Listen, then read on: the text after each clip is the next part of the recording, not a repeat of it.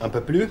Un po' più? Glauco, queste battute dovrebbero essere un po' più sofferte, cioè comunque il Com'è? mio personaggio viene da un'esperienza molto forte, di conseguenza insomma, c'è Eh, bisogno... no, però devi stare zitta, se no non ci capiamo neanche io e lui, eh. Ho capito, ma io sono preoccupata, almeno René mi diceva come dirle. Tu non ti preoccupare, guarda a destra macchina, dici le battute e abbiamo fatto. E non ti inventa niente che meno ti muovi e meno danni fai. Ah, e devi essere bandiera se uscire dal fiume, eh? François, una spruzzatina, dai, poco, eh. T'ho detto poco. Sì, François, levate!